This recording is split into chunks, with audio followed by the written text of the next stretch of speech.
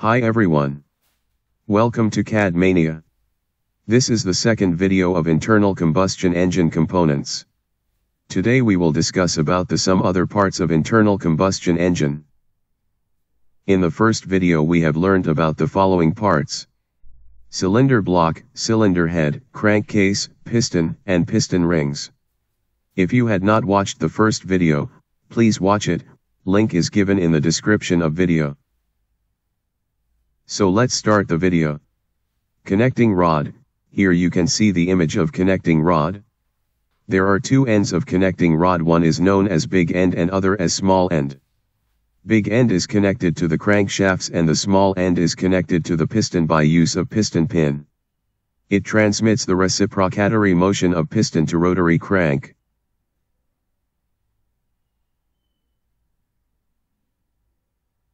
Connecting rod is made up of low carbon steel 30C8 material. The manufacturing method that is used to mate is forging followed by heat treatment. Now we will learn about the crankshaft. It receives the thrust supplied by piston to connecting rod. The main function of crankshaft is to transform reciprocating motion into a rotary motion. The shape and size of crankshaft depends on the number and arrangement of cylinders.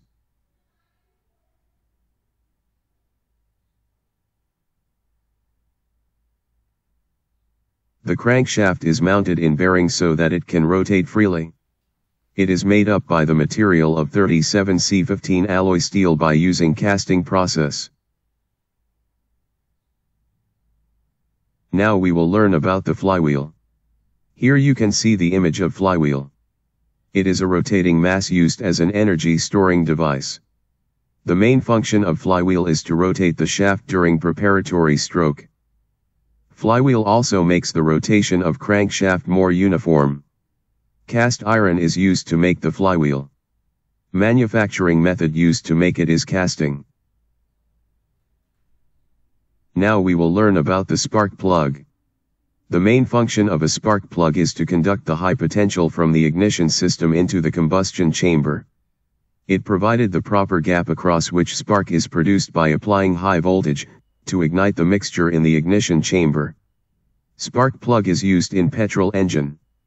Gap of spark plug lies between 0.6 mm to 1.8 mm.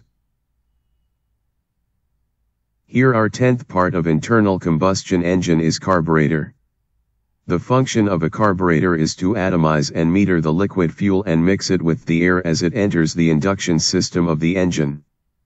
It maintains the fuel-air proportion under all conditions of operation appropriate to the conditions.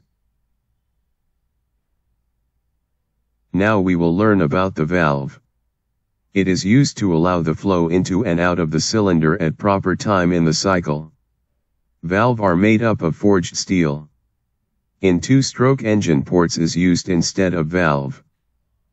Remaining parts we will discuss in our third video. Subscribe the channel to watch more videos like this. Comment on the video to give suggestions so that upcoming video can be upgraded. Thanks for watching.